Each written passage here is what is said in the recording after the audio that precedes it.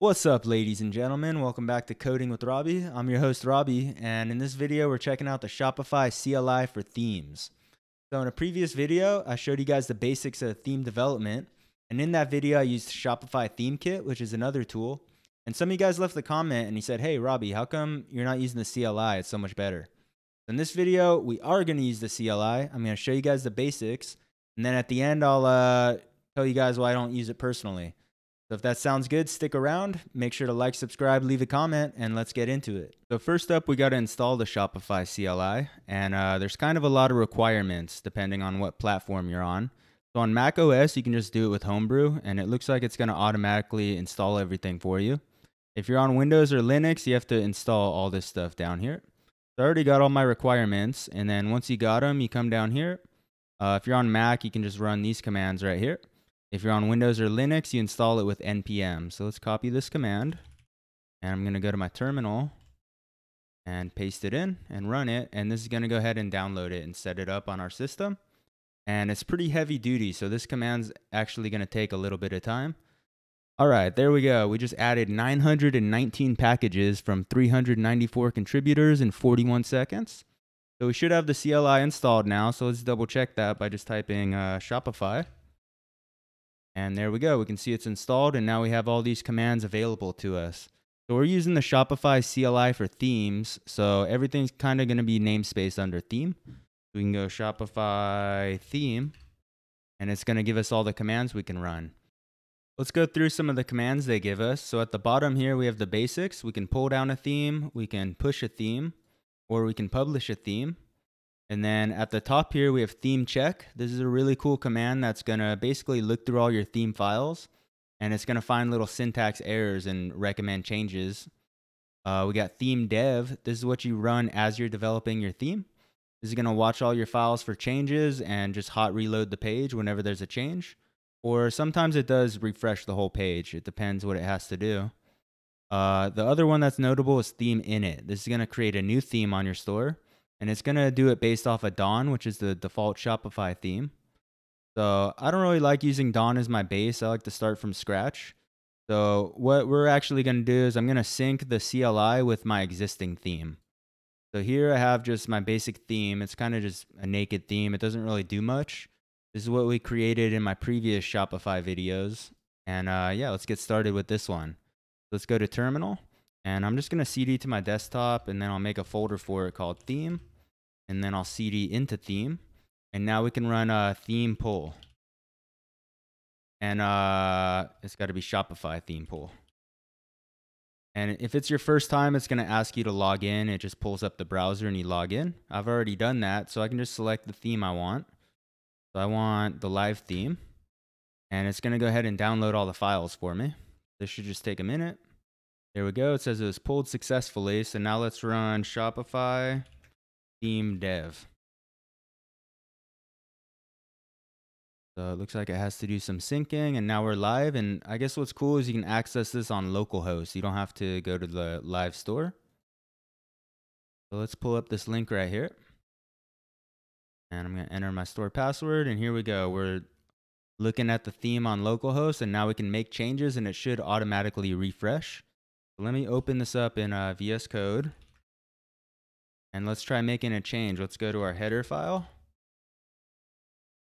Pull up the website right here. So let's just add one, two, three to the end of the title right there. So let's go right here. I'll go one, two, three, save it, and I'll go back. And there we go. We got it right there. Let's try it with CSS. Let's go to my style.css. Let's just add background blue to everything and see what happens. Here we go. The background should be blue on everything. So nothing happened, but it's refreshing the page. And there we go, it automatically updated. So that's pretty cool. So now that I made my changes, let's try to push it. Um, so let's see. So if I want to share this with someone, I can send them this link. And they could uh, check out my theme, which has unpublished changes. And if I do just go to my normal store, it looks, let's see. So that's one thing that's really cool. It doesn't update the actual live store. It kind of, I guess it stores your changes locally, or I don't know how it works. It kind of creates like an invisible theme in the background, I guess. So now let's say we want to push that to production. We should be able to go to terminal. And let's just stop this and let's go Shopify theme push. See if that does it. Yeah, let's say we want to do the live theme. Are you sure you want to push to your live theme? I'm going to hit yes. And it says pushing theme files. And there we go. It says it's live. So let's go. And there we go. We see our changes now. So that's pretty nifty. Um, let's try that theme check command. I really like this one. So let's go Shopify theme check. And it's going to find a ton of errors. Check this out. We scroll up. Here's all the things it wants me to fix. So for instance, uh, let's see. Right here, undefined object master. So it looks like I forgot to put that in quotes. Uh, if we go down here, it says, hey, we don't like you using uh, script tags like that anymore. Use a script tag with defer. And yeah, basically just complains about all kinds of stuff. So I guess my formatting is messed up in cart.liquid. Cart.liquid. I want to see if the auto formatter fixes stuff. Let's go bam. Add defer right here. That's still yelling at me.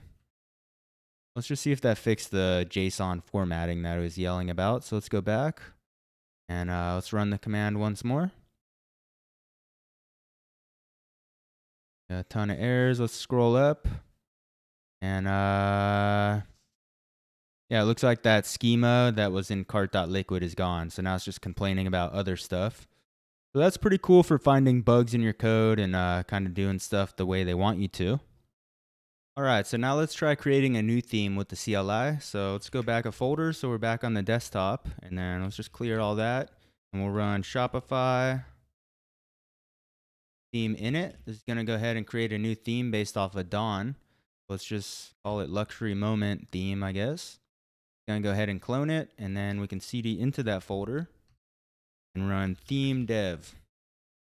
Sorry, Shopify theme dev. And uh, this command might take a second the first time. It's to sync the theme. So let's just wait. There we go, syncing theme. It's uploading all the files. It looks like we're good. And uh, yeah, we can pull up our store right here. And now we should be able to make changes to this and it'll automatically refresh and everything. So let's pull it up in VS Code. So dot. And uh, let's just try changing that header. So we'll just add one, two, three after it. So let's go header.liquid. And let's find the header code. I think it's shop.name. Let's see. Right down here. Let's add one, two, three. Save it. Go back. And there we go. We get it. So it's working. Let's try that theme check command on here and see if it complains about anything. So let's go back. Where was I? Right here. Stop it. Let's go uh, theme check. I'm so used to theme kit. Shopify theme check. See if it finds anything.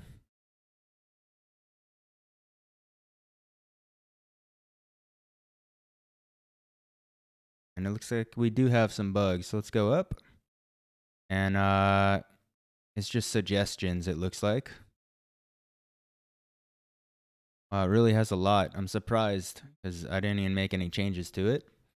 But uh, let's just pretend that's good. Let's try to publish this theme. So if we go to our store uh, right here, we refresh, you can see that it didn't even upload the theme at all to our store yet, which is kind of cool.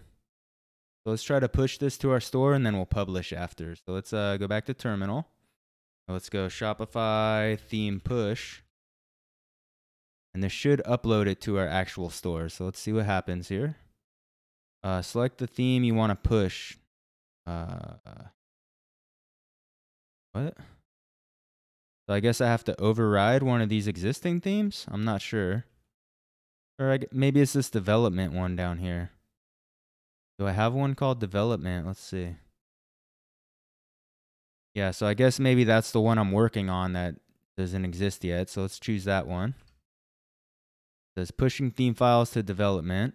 Your theme was successfully pushed. Let's go back and refresh, we get it. I don't know where it went, so let's just try to publish it and see if that works. Let's go Shopify theme publish.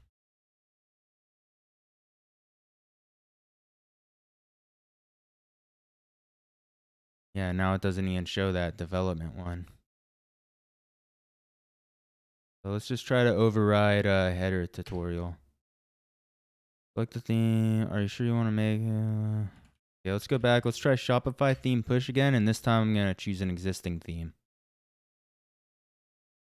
Let's just do header tutorial. And now it should override all the files in that theme. So it looks like it's taking a little longer this time. All right, looks like it pushed everything. Let's preview that theme and see if it actually did it. So let's go to header tutorial. I'll go preview. We have our header with one, two, three. So that's cool. So now we should be able to publish that theme. So let's go Shopify theme publish.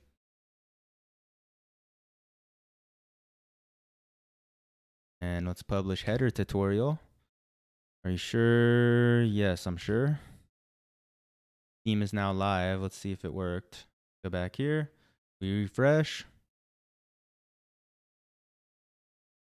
And there we go. It's the live theme. So so another way we could have got this theme on the store is to package it, upload it, and then uh, sync it with that theme. So let's try that. Let's go Shopify, theme package, run that, and it should create a zip file for us. So let's just wait a second. There we go, theme packaged. So let's go get that zip. See, let me just go to my home folder, uh, desktop. Where is it? Right here.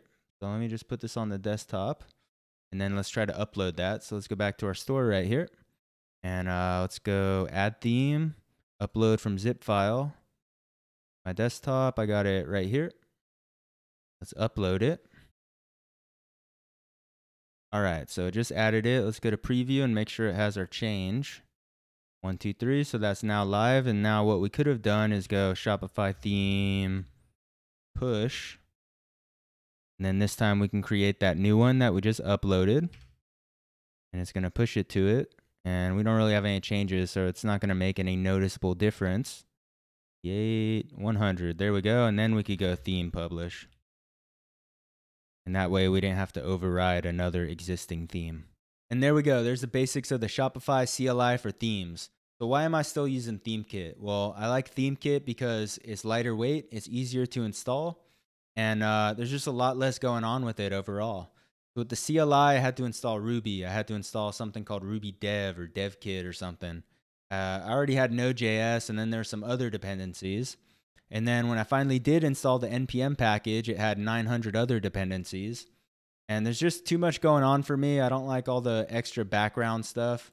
And for me, it doesn't really provide that much benefit. So the hot reloading's kind of cool, theme check's kind of cool, but at the end of the day, I just like ThemeKit, so I'm going to continue to use that. Uh, if you're just getting into theme development today, I probably would recommend the CLI.